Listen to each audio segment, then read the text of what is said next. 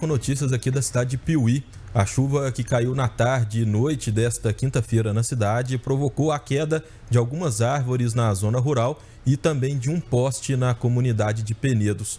Por causa da chuva e dos ventos, houve interrupção do fornecimento de energia elétrica na comunidade de Penedos e que foi restabelecida por volta das 9 horas da noite de ontem.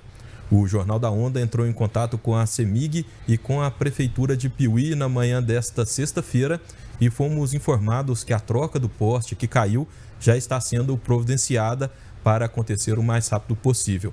O prefeito de Piuí, Dr. Paulo César Vaz, informou também que desde as primeiras horas da manhã de hoje, a equipe do Departamento de Limpeza e também de Estradas do município começaram o departamento começaram, perdão, trabalho de desobstrução das vias, mas pediu a prudência e também atenção aos motoristas que utilizam principalmente as estradas da Mata dos Santos, a estrada próxima, né, as estradas próximas ali à comunidade Penedos e também as estradas próximas ao Emil Leilões.